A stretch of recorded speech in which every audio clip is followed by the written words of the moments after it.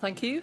Can I remind members of the COVID-related measures that are in place and that face covering should be worn when moving around the chamber and across the Holyrood campus. The final item of business is a members' business debate on motion 1675 in the name of Graeme Simpson on East Kilbride rail line duelling. The debate will be concluded without any questions being put. I would ask those members who wish to speak in the debate to please press the request to speak buttons now and I call on Graeme Simpson to open the debate Up to seven minutes, please, Mr Simpson. Many thanks, Deputy Presiding Officer. And can I start by thanking uh, all the members from across the chamber who signed the motion which uh, gets us this debate today. I'm going to start with a quote. The East Kilbride line is one of the areas that we've identified. I was there fairly recently and the investigation works had started. The work involves not only electrifying the line but dueling it, which will provide it which, with much greater resilience and capacity to help to support the people who make use of the services. It also involves enhancements to East Kilbride Railway Station, which, in my view, is unacceptable in its present form. That is why that work is one of the early actions that we intend to take forward. Those were the words of Cabinet Secretary Michael Matheson when questioned by me at the REC committee in September last year. And this is the same Michael Matheson who described the service to East Kilbride as inadequate and not up to scratch. While posing in a hard hat on the line, he said, the combination of projects at East Kilbride and Hare Myers will transform the services into Glasgow in the next four to five years and is part of a major investment by us. We want to make sure the line is able to cope with ever-growing demand for rail services on this route and these are ambitious plans to take forward for the benefit of those who make regular use of the service on this line. So, you would think all was well, and it was until we had the announcement, sneaked out by Transport Scotland in October, that actually we're not going to get a dual line between Busby and East Kilbride, and that the line will be decarbonised, which may or may not mean electrified. The line from East Kilbride runs into Glasgow through part of East Renfrewshire and then through the south side of the city. Going from East Kilbride, it's a single line until you get to Busby, apart from a small loop at Hare Myers so trains can pass each other. Only diesel trains operate on the line. So clearly, if we want to get to net zero, then we need to tackle lines like that. We also need to encourage people onto the trains. One of the problems with having a single track line is that if problems occur, and they do, then trains just stop. If they're coming from Glasgow, they usually go no further than Busby. And that's why myself, the former MSP for East Kilbride, Linda Fabiani, and others have been pushing for years to get the line duelled and electrified. And as you've heard, we had agreement for this. That's now been torn up with no consultation whatsoever. Yes? Paul Spinney. Thank you, member for me. He's making an important point about the reliability and resilience. Surely this is a lesson that was learned the hard way on the Borders Railway, which was curtailed with significant sections of single track line, which now is presenting a huge problem for the reliability of the, of the line with massive delays as a result of these single track sections, which were as a result of, Scot uh, of Transport Scotland Valley engineering the project. Graham Simpson. Mr Sweeney is uh, absolutely right. Uh, Borders Railway is in the same position. And now the Minister and I have spoken about this, and I thank him for that. He will say that there is a potential for the 40 million cost of dueling the line to spiral. There is that risk with any infrastructure project, and you have to factor that in. That doesn't mean you don't do them. The new MSP for the town, Colette Stevenson, has been quoted as saying that £100 million is still being invested in the East Kilbride corridor. I assume she means the entire line into Glasgow, which in her view is, quote, great news for the people of the town. Well, it's only great news for the town if there's a guarantee of more trains and no hold-ups caused by there being only one line, or if there's extra car parking at the new Hairmire station, not the reduced number which is now being mooted, I'm afraid that none of what is being delivered right now, none of that's being delivered, so it's not good news for the town at all. And it's not gesture politics to point that out. East Kilbride is growing at a fast rate of knots. Thousands of houses are being built on what was Greenbelt land to the southwest of the town. We should be doing all we can to encourage the people living in those houses to use the train So we should be increasing capacity and, in, and the frequency of services, not taking the short-term view based on current usage, because it will bounce back. And the Minister's shaking his head, but it is a short-term view. At one time, the line continued from East Kilbride to Hamilton. When East Kilbride became a new town in 1948, the line beyond the town was closed. And in the mid-1950s, the dual section from Busby became single track. Diesel replaced steam in the 1960s, and in 2000 the Hare Myers loop was built, allowing for a half-hourly service. Of course, we're not the only place to have a single track line and diesel train. The Borders line mentioned earlier is the same. The line from Perth to Inverness is single track, and of course, so is the Far North line. There will be others that members may wish to highlight all those deserve investment too. This should not be a case of divide and conquer. If we're serious about cutting carbon emissions from transport, then we need to persuade people that they're better off not driving. East Kilbride could be a great example of what can be done. The ambition should not end at duelling and electrifying the existing line, in my view. Right now, if you want to get anywhere in Scotland from the country's biggest town, people from Paisley may disagree with that title, you have to go via Glasgow or drive. If we're to be truly radical, then we should be looking to go beyond dueling just to East Kilbride. Why not extend the line again, maybe even to Hamilton at some point in the future? I'll just end with the quote that I started with. The work involves not only electrifying the line, but dueling it. That is a promise and no amount of weasel words can wriggle out of that. Thank you. Uh, and I now call uh, Colette Stevenson to be followed by Jackson Carlo. Up to four minutes, please, Ms Stevenson.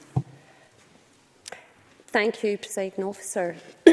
I have been clear that I believe electrification and duelling of the East Kilbride line would offer the best outcomes.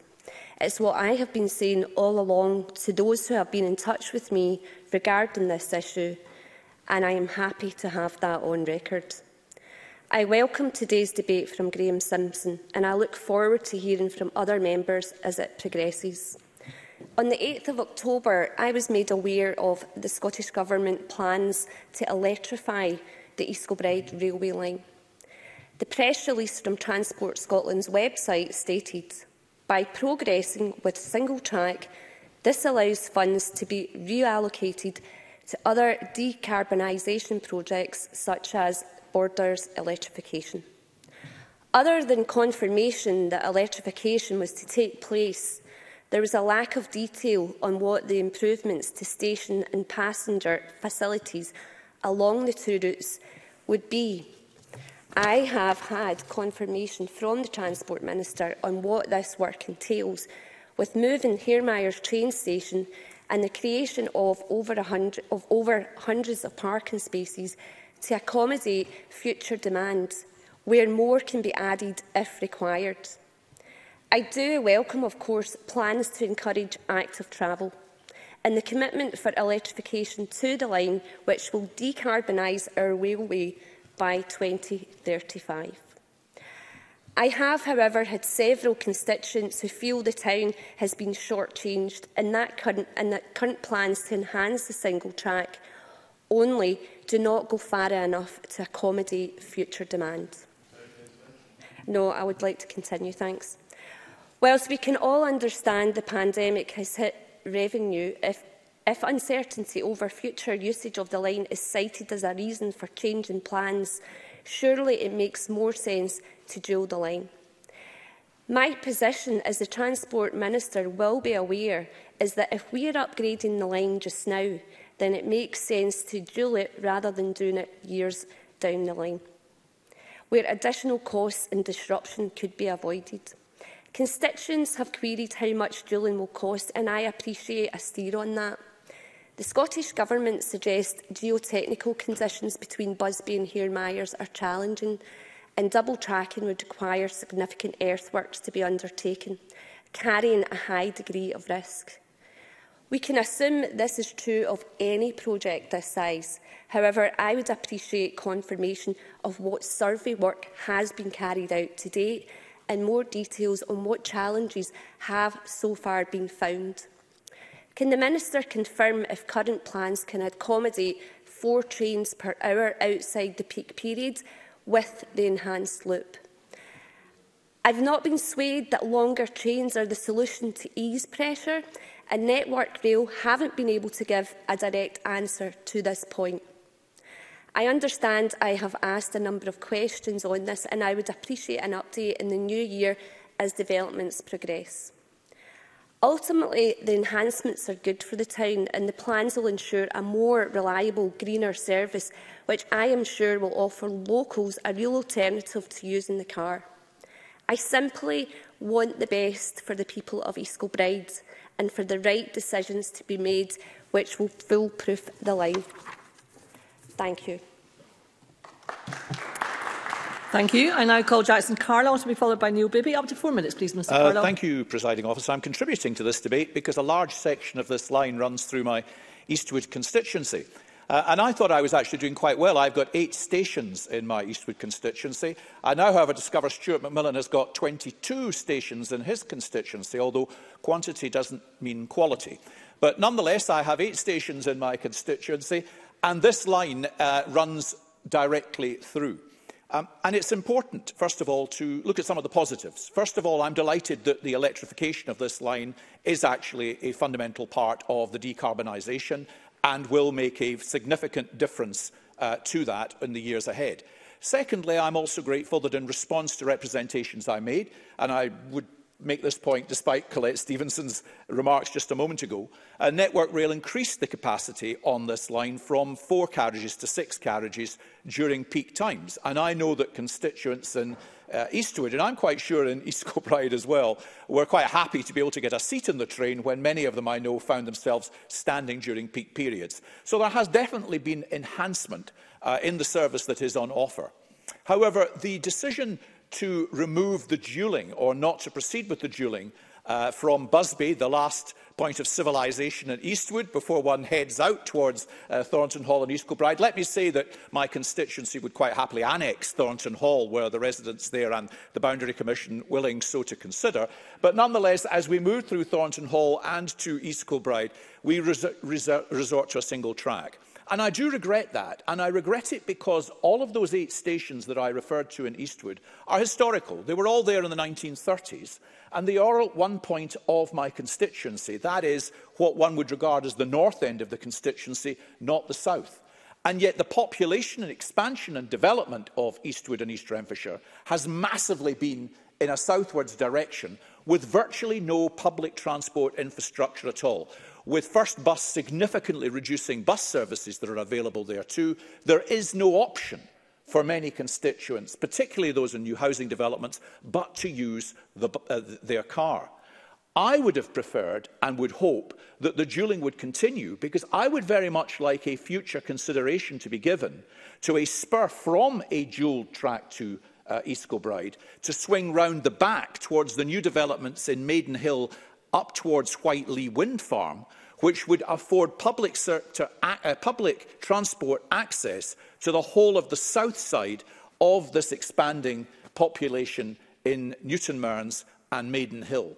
And as a long-term project, we should be looking to provide additional access in terms of public uh, transport options to people. And this would be, I think, a long-term worthwhile project. But it makes it almost impossible to achieve if we only have a single track.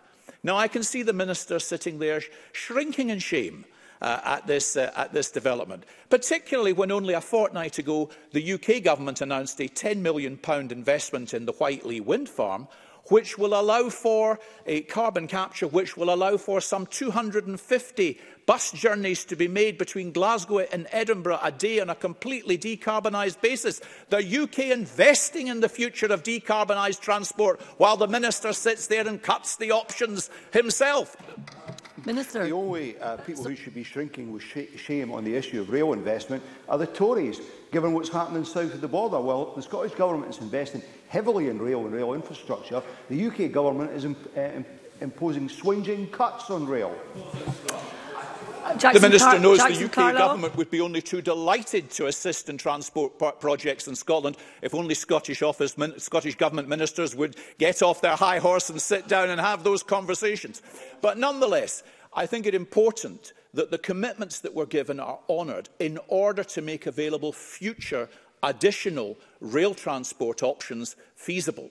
And whilst I know that many of the improvements that have been made are positive, I think this decision is a retrograde one and one given the long-term population expansion that people will regret and the government will come to regret as well. Thank you. I call Neil Bibby to be followed by Ross Greer. Up to four minutes, please, Mr Bibby. Thank you, Presiding Officer, and I thank Graeme Simpson for bringing forward this debate. Upgrading the East Coast Line has been a long-standing objective of campaigners through the decades, as we've just heard from Jackson Carlo. The line serves growing populations across the south side of Glasgow, East Renfrewshire and East Kilbride. Whilst those communities have changed dramatically through the years, the railway itself has not. Passengers have raised their frustrations with an increasingly dated railway with me. For example, I've met Thornley Bank commuters on the station platform to hear first-hand concerns about the frequency of services, breakdowns and, at that time, excessive overcrowding. The adoption of Network Rail's electrification and enhancement proposals was set to be a game-changer. That included sections of double track or loops between Haymars and Busby stations that could facilitate more trains to East Kilbride. The decision to take forward enhancements was welcomed across the communities served by this line. It was the flagship of the Government's rail decarbonisation plan. Transport Scotland and the Scotland's Railway website were peppered with references to double tracking on the East Kilbride line to facilitate a more frequent service and more double tracking at the single line section between East Kilbride and Busby.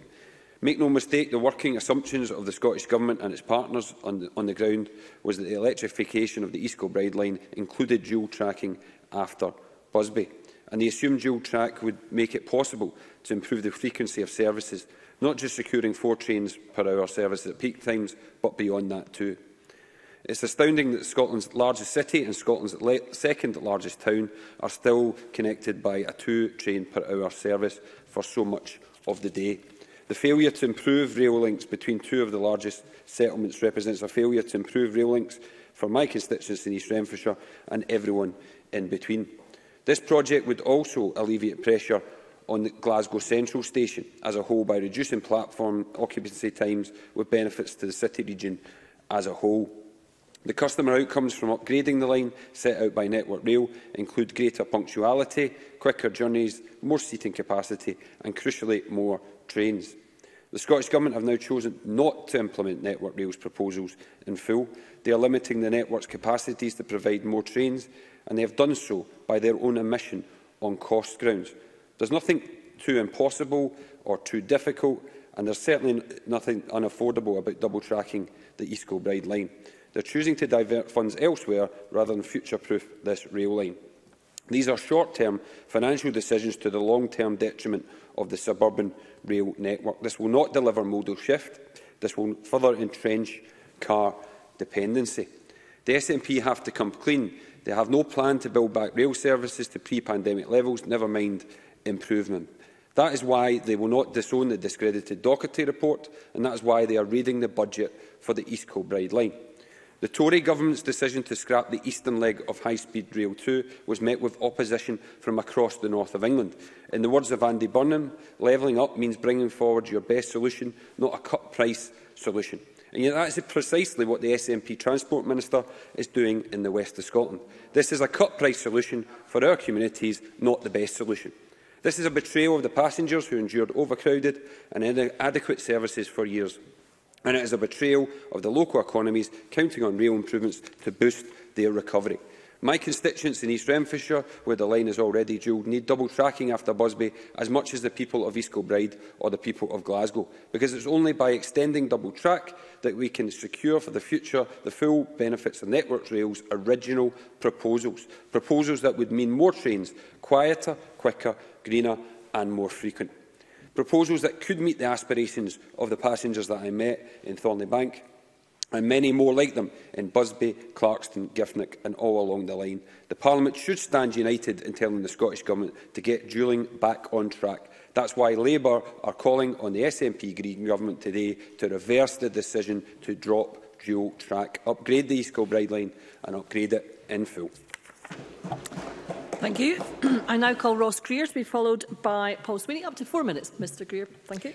Thank you, Presiding Officer, and thank you to Graham Simpson for bringing this issue to a debate. As has been mentioned, given that the East Kilbride line travels through East Dremshire, it's obviously of significant interest to those of us who represent the area as constituency or regional MSPs.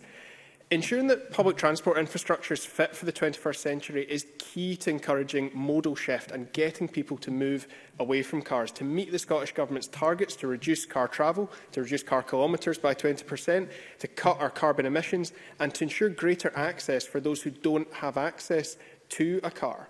And on that point, I'd highlight, particularly given uh, my interest in the sections of this track that run through East Renfrewshire, sometimes comments are made in debates around improving this line uh, around the comparatively high levels of car ownership in an area like East Renfrewshire that's relatively prosperous. But 15% of children in that community live in. Those assumptions are to the significant disadvantage of the families who are left behind who are further marginalised. I've campaigned for improvements on this line for a while now. In fact, two years ago, I managed to secure an additional £5 million fund for improvements to the Mogai and East Kilbride lines. Now, unfortunately for East Kilbride, that fund was in the end used entirely for a specific £5.5 million upgrade project on the Mulgai line. Now, that was entirely justifiable given it's consistently been the worst performing rail line in Scotland. In fact, before the pandemic, it regularly saw less than one in four trains arrive at Mulgai station on time. But both these lines share a need for a much more substantial infrastructure improvement. They both require dueling if they're to see the frequency of service that we need to drive modal shift at the level of reliability that's required to make it a viable and an attractive alternative to the car. As was noted earlier, we've seen single-track sections, single-track lines or single-track sections of lines across the country consistently present obstacles to wider capacity and performance improvements. Now, some of those are historical legacies from a century or more ago. Many are the result of a deeply misguided programme in the late 80s and early 90s, whereby twin-track lines had one track removed for financial reasons, and some are more recent uh, decisions that have been made again, I believe, on a financial basis. So I do welcome, though, the £100 million worth of improvements which have been and are being delivered on the line, including improvements to make Giffnock Station more accessible to my constituents. This is a necessary step towards decarbonising Scotland's transport infrastructure. And given transport is the one area in which emissions have actually consistently risen, electrification of the rail network is essential if we're to meet our emission reduction targets. That's why it's disappointing to hear that the long-proposed duelling between Busby and East Kilbride will now not go forward, despite past commitments, a view that I know shared by my Green colleague for Central Scotland, Gillian Mackay. She wrote to the Minister to highlight our dismay at these reports, rightly noting that protecting and improving services is key to restoring confidence in public transport as we come out of this pandemic. She also noted that regions across Scotland should not need to compete for funding for essential upgrades, with the money uh, for during this line apparently having been reallocated to electrification of lines elsewhere. In response to Gillian Mackay's letter, the Minister said that one of the reasons for scrapping the duelling is the level of anticipated demand after COVID. Now, I find that a troubling rationale because it suggests that government policy making should be led by external forces rather than used as a tool to proactively drive up use of public transport. If the justification for reduced capacity is that fewer passengers are returning to the railways, then that outcome is being guaranteed by providing them with inadequate capacity to return to and failing to deliver the improvements which have long been needed. That's precisely why the cooperation agreement between the Greens and the Scottish Government includes £5 billion of investment in our railways across this parliamentary term. We should be making it easier, not harder, to use public transport, as we're doing for buses with our under-22 free travel scheme and we should be investing the money that is needed to meet the scale of the challenge we face in cutting our transport emissions. Scotland needs to deliver a more effective and more attractive transport network that draws more people onto our railways, and there's no reason to leave East Kilbride behind in that agenda. Thank you. Thank you. I now call Paul Sweeney to be followed by Richard Leonard. Up to four minutes, please, Mr Sweeney. Thank you, Deputy Presiding Officer. Greater Glasgow has the second largest urban railway network in the United Kingdom But I think it's fair to say that it's less than the sum of its parts. And if we are to seriously look at investing in it, then we really need to commit to a, com a vision of a 15-minute service in all parts of the city. That is the sort of shift of a turn-up-and-go frequency that unlocks true modal shift, that moves people onto railways. I don't know how many people here travel by rail frequently, but I certainly find the attempt at um, waking up in the morning and trying to figure out if you're going to miss your connection from the subway to the railway stairs by one minute and then have to wait half an hour for the next train, a significant deterrent to deciding whether to take the car or the train, particularly if you're having to meet an appointment under time pressure. And these are decisions and calculations that have been made by Glaswegians every day of every week. And because our transport system across the Greater Glasgow region is so infrequent it isn't up to a metro level standard. That is why it isn't been fully utilised. That's why not, we're not reaping the full benefits of that great legacy of infrastructure that was built during the 19th and 20th centuries, despite the cuts of beaching in the 1960s. So we need to seriously look at how we build that commitment. I know that the Scottish uh, Transport uh, Projects Review coming up, the Strategic Project Review coming up, will be looking at the idea of a Glasgow Metro Surely a key critical component of that metro is connecting the sixth largest settlement in Scotland in the Greater Glasgow region, East Kilbride, to the urban centre of the city region, Glasgow city centre, in a way that will allow people to say, doesn't matter, I don't have to look at my watch, I can turn up at the station and there will be a train arriving within 15 minutes to take me to where I need to go. I have to give way. Minister um, I, and I, I recognise the, the argument he makes, and, and that's why the proposal around a, a Clyde Metro system do take account of seven local authorities around it. But would he accept um, that rail is only a component of that? and that there will be other component parts to achieve what he's looking for. And I don't mean specific to East Kilbride, but it might be light rail, it might be enhanced bus, glider-type services, that a, a metro scheme will take in a, a raft of modes of transport. Paul Sweeney. Thank you, Deputy Presiding Officer. I recognise that point. For example, there are proposals such as converting the Cathcart Circle to light rail, which will unlock capacity at Central Station, etc. I recognise that potentially East Kilbride in the future could be a candidate for light rail conversion, which could increase frequencies and unlock the potential of the line in full. But to do that, we still need dual tracking. We still need that reliability. Even tramways need dual track. So even if it is using light railway vehicles rather than heavy rail vehicles, the same principle applies. We need the dual tracking to provide the throughways to provide the reliability of the service. Now, it's one thing to model four train per hour frequency on a computer. We know from the bitter experience of the Borders Railway that in reality uh, it isn't as reliable as all that. And of course, as Ross Greer demonstrated with Mulgai, we have a similar constraint on that part of Greater Glasgow's network. We need that commitment to dual tracking. The risk is not just about the earthworks of building up the dual-track system, it's about the risk to the reliability of the service, which then deters people from making that choice, hard-pressed at 8 o'clock in the morning thinking, am I going to get to work on time?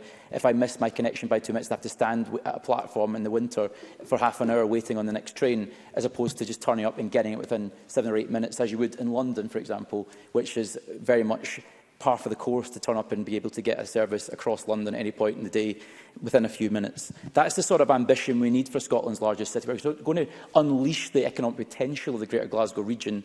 That's the sort of ambition we need. So the measly attempt to quietly downgrade this line after the great bombastic statements from the Cabinet Secretary about how it wasn't up to scratch, we need to do this dual tracking, um, to try and do it surreptitiously in this way without any true scrutiny, without any clear publications of the justification knowing how difficult it is to get these railway upgrades on business cases approved as it is, to then quietly downgrade them, it seems like a double standard. We need to have the same level of scrutiny applied to justifying the downgrade. I don't think it's been presented. Please, Cabinet Secretary, have more ambition for Greater Glasgow. We, it's a one-way bet. Let's dual track East Kilbride and unlock the potential of the Greater Glasgow region. Thank you. And I call Richard Leonard uh, up to four minutes, please, Mr Leonard. Uh, thank you, Deputy Presiding Officer. And can I refer members to my register of interest? And can I thank Graeme Simpson for raising this important debate? Here is a simple test. Is the government prepared to improve the everyday lives of the people of Scotland to a level that matches, that matches its COP26 summit rhetoric? Is it prepared to speak through its actions, not just with its words. Or with the banners now folded, the flags taken down and the sounds of protest which filled the streets of Glasgow now fading, is the Scottish Government going to make the climate catastrophe not better but worse?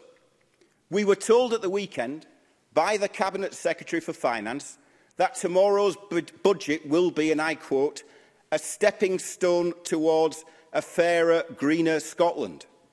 And she didn't just leave it there. She went on, that is our social, economic and environmental imperative. So the question this Parliament is asking of the government this evening is this. Where is that imperative when the Transport Minister is happy to slash Scotland's rail services across the board by 10%? Where is that imperative when the planned double tracking on the line between Busby and East Kilbride, which is at the centre of Transport Scotland's decarbonisation action plan, is facing cancellation? Where is that imperative? At the very point when we need ambition, we are given managed mediocrity. At the very point when we need vision, long-term thinking and investment in public transport, the people are offered short-sighted cuts and government indifference.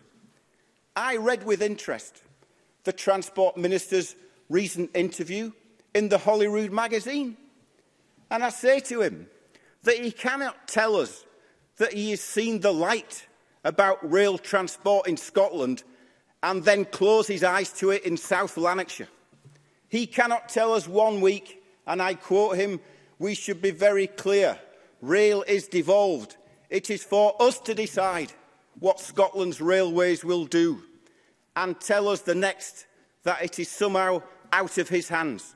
So I say to him, we need the same toughness to resist these cuts and boldly invest in the railway, as we see in the fight over where decision-making power lies in the railway. This is about how we organise the future, but it is also about what future it is we want to organise. Earlier this week, I read an open letter to MSPs from Kevin Lindsay of the Train Drivers Union ASLEF. In it, he called for action in tomorrow's budget to reduce passenger fares, to invest in freight and to reject the proposed cuts to services. And he is right.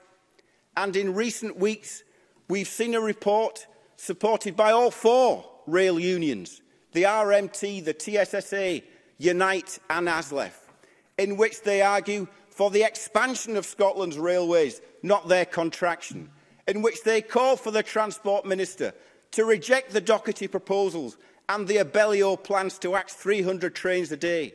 So their clear demand and my unflinching message to the Minister and to the Government tonight and I include the Scottish Green Party members of it too, is this. Reinstate the duelling of the East Kilbride line. Drop the plans to axe ticket offices. Ditch the proposals to cut jobs and to undermine workers' terms and conditions. And once and for all, do the right thing and reverse the cuts, these cuts, your cuts, to Scotland's railways. Thank you. Point of order, Ross Greer. It was remiss of me not to mention earlier, not to refer members to my register of interest earlier on, specifically that I received a financial donation earlier this year from a rail union, the RMT.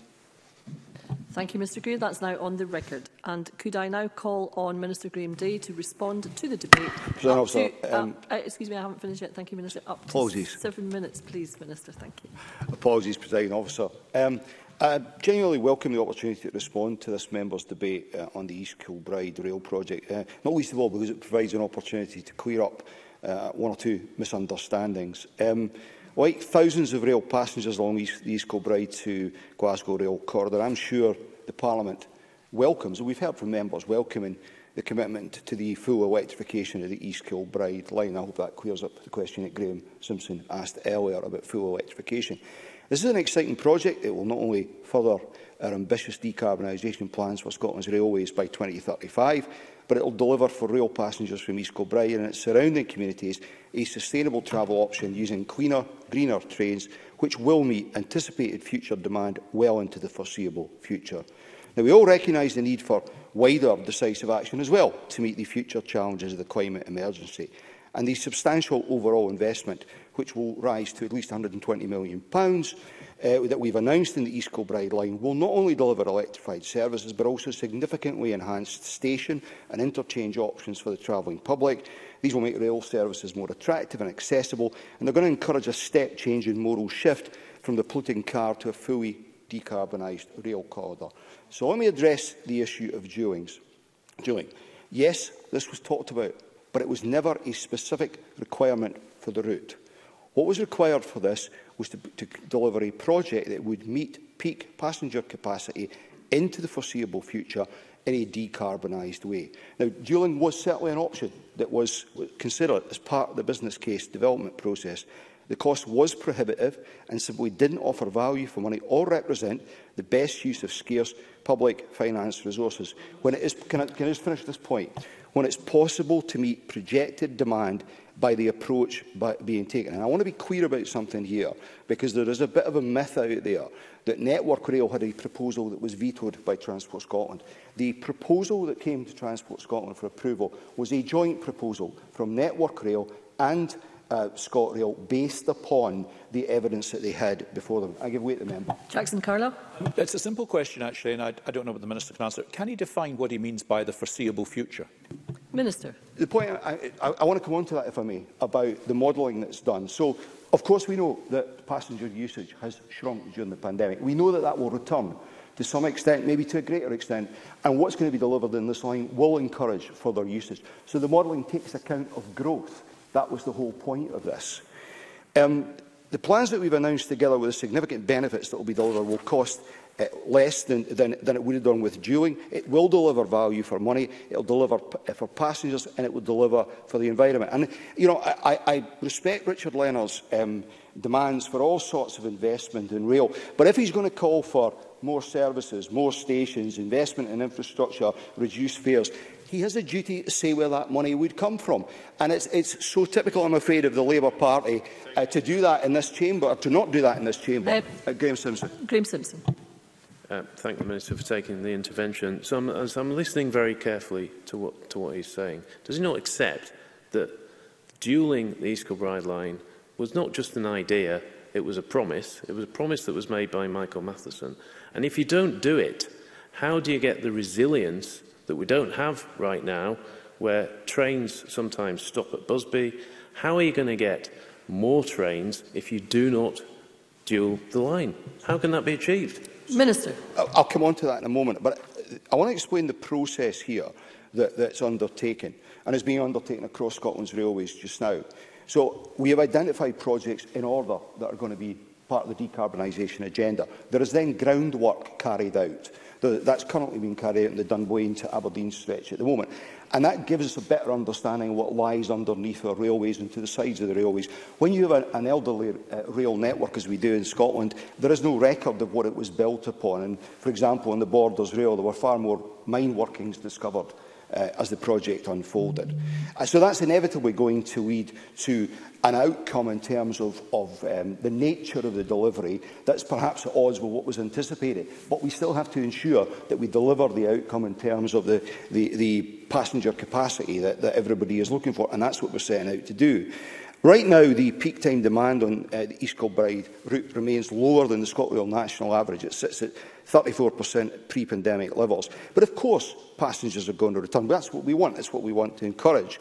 And the joint industry passenger modelling for this route and the analysis of changing travelling patterns across Scotland gives us the confidence that the capacity that will be provided on cleaner, greener trains that we expect to roll into service for late 2024 will be more than sufficient to meet both current and forecast peak demand. Because for one thing, the carriages on the electric trains are significantly bigger than um, are available on, on, on the current rowing stock. And, and of course, once, uh, uh, to, to address uh, Graham Simpson's point about so how do you address some of the resilience issues, as Mr Simpson knows uh, from our uh, previous conversations, there, will, there is what's being worked through at the moment, in addition to the single tracking, is potential enhancements around signalling, which is one of the issues around Busby, and also further track infrastructure in the form of uh, loops which will allow us to address the, the very points that he rightly makes. Now, that development work is currently ongoing, and I, and I anticipate Network Rail will be reporting back before the next stage of the business case uh, process early next year. Now, given the genuine interest and concern that's expressed tonight, I'm happy to commit tonight uh, to arrange a briefing for all interested MSPs at that point, uh, which will have an opportunity to interrogate the detail of what will be in the final proposal in terms of the overall package. And our significant investment in this critical route, I, th I would argue, demonstrates a continuing commitment to decarbonisation of Scotland's railway. Um, you know, East Kilbride is only a part of, of the proposals. We've, we're already targeting Barhead, the Borders is coming up. The Fife Circle is, is next on the agenda. The Leavenmouth uh, rail development is being done with electrification in place for that connection. And as I said earlier, as we speak, the teams are out on the, the rail link from uh, Dunblane right up to Aberdeen doing that groundwork assessment. And I'm pleased to say that the last report I had was it had not identified any issues. Now, it takes time to plan these major infrastructure pro uh, projects, and it's important that we do that, that uh, preparatory work so that when we go in to do the work on the ground, that we don't anticipate any problems. And to pick up a point that was asked about earlier, um, the, in addition to the cost associated that we knew about with dueling, there is a risk assessment done because of the nature of the work that has to be carried out. And then there is a stretch on that line that would have involved about roughly 14 metres of earth and various other things to be removed. Now, you take that out, you have to dispose of it, but it's then what you find at that point. And the risk assessment in there provided a, a degree of concern. But I go back to the point I made earlier, which of course is that it's about the outcome here. It's to deliver the capacity on a clean green line, and that is what we intend to deliver. Uh, but as I said uh, earlier, more than happy to invite all interested MSPs uh, to a briefing early in the, the new year to allow them the opportunity uh, to ask any questions they've got and interrogate what the final proposals will be. Presiding officer. Thank you, Minister. That concludes the debate and I close this meeting.